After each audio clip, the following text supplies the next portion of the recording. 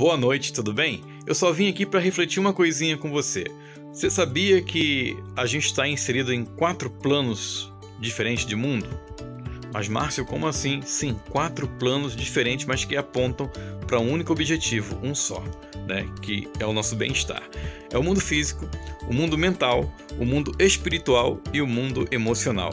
Para que tudo flua bem em nossa vida, tem que estar os quatro alinhadinho, completinho, sem perplexidade. Uma hora eu explico para você isso certinho, bem bonitinho, ou quem sabe ainda faça um podcast e põe lá no meu blog. O que, que você acha? Hum? O que, que você pensa dessa ideia? Espero a sua resposta, espero a sua opinião. Um abraço, boa noite, Deus te abençoe. Tchau, tchau.